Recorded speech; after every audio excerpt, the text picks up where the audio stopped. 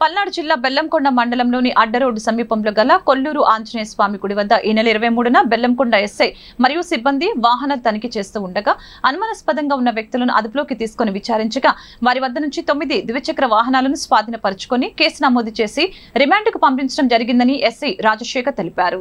జిల్లా శ్రీ ఎస్పీ గారు మరియు శ్రీ సత్తెనపల్లి డిఎస్పీ గారి ఆదేశాల మేరకు పిడుగురాల రూరల్ సర్కిల్ సిఐ గారి ఉత్తర్వుల మేరకు బెల్లంకొండ ఎస్ఐ కె. రాజశేఖర్ నేను మరియు మా పోలీస్ స్టేషన్ సిబ్బంది ఇరవై మూడు ఆరు రెండు వేల ఇరవై రెండున సాయంత్రం నాలుగు గంటల సమయంలో బెల్లంకొండ అడ్రోడ్ సమీపంలో గల కోళ్ళూరు ఆంజనేయ స్వామి టెంపుల్ దగ్గర వెహికల్ చెకింగ్ నిర్వహిస్తుండగా అనుస్ప అనుమానాస్పదంగా వెళ్తున్న ఒక ముగ్గురు వ్యక్తులను అదుపులోకి తీసుకోవడం జరిగింది.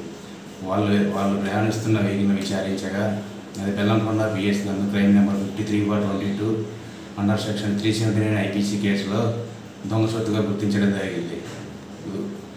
కేసులో ఇన్వాల్వ్ అయి ఉన్నందున పై ముగ్గురు పై ముగ్గురిని కూడా ఇరవై మూడు ఆరు రెండు వేల ఇరవై రెండు సాయంత్రం ఆరున్నర గంటల సమయంలో అరెస్ట్ చేయడం జరిగింది.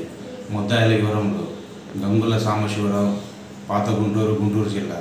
రెండవ అతను వచ్చేసి గంగుల గోపి పాపైపాలెం గ్రామం బెల్లంకొండ మండలం. తడ్డ మూడవ ముద్దాయి వచ్చేసి దేవరకొండ అచ్చయ్య దొడ్లేరు గ్రామం క్రోసూరు మండలం. పై ముగ్గురు ముగ్గురు ముద్దాయిని కూడా విచారించగా బెల్లంకొండ పిఎస్ నందు మరో తొమ్మిది కేసుల్లో ఇన్వాల్వ్ అయి ఉండడం జరిగింది.